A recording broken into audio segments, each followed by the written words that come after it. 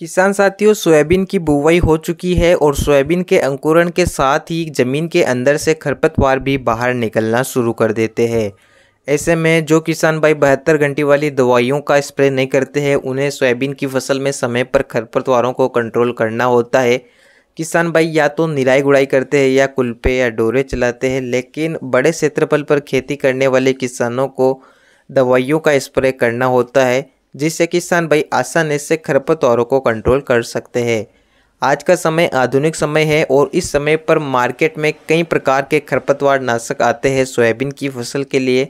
लेकिन किसान भाई कंफ्यूज होते हैं कि वो सोयाबीन की फ़सल में कौन सा खरपतवार नाशक दे, जिससे किसानों का खर्चा ज़्यादा ना आए और सोयाबीन की फ़सल से किसान भाई समय पर खरपतवारों को कंट्रोल कर सके।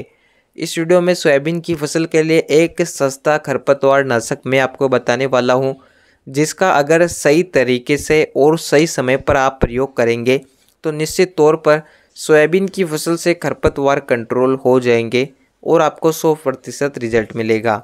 पूरी जानकारी वीडियो में मिलेगी। वीडियो को आखिर तक देखें वीडियो को अधिक से अधिक संख्या में लाइक करें, ताकि हमें हौसला मिलता रहे और हम इसी प्रकार की वीडियो आप तक पहुंचाते रहे। तो चले वीडियो को शुरू करते हैं।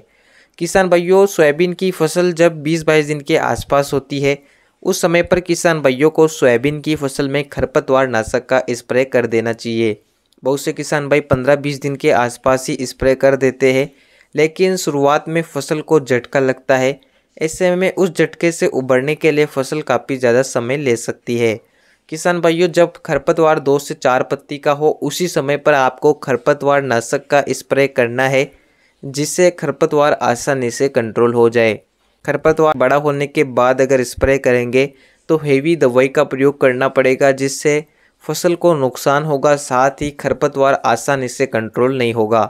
अगर आप सोयाबीन की खेती कर रहे हैं, और आप सस्ते तरीके से खरपतवारों को कंट्रोल करना चाहते हैं, जिससे आपका खर्चा ज़्यादा ना आए और खरपतवार भी कंट्रोल हो जाए।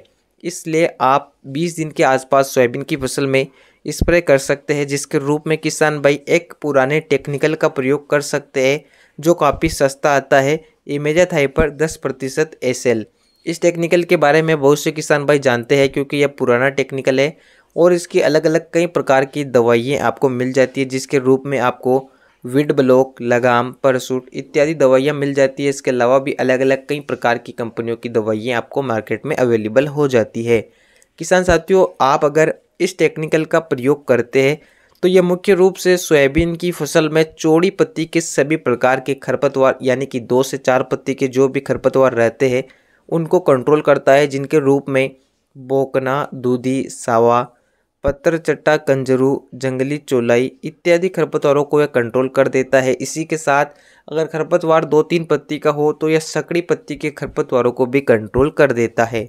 किसान भाइयों, हमारे इधर अधिकतर किसान भाई इसी टेक्निकल का प्रयोग करते हैं, क्योंकि हम थोड़े क्षेत्रफल पर सोयाबीन की बुवाई करते हैं, जिससे हम एक बार इसका स्प्रे कर देते हैं, बाद में जो खरपतवार रहता है, उसकी हम निराई गुड़ाई कर लेते हैं।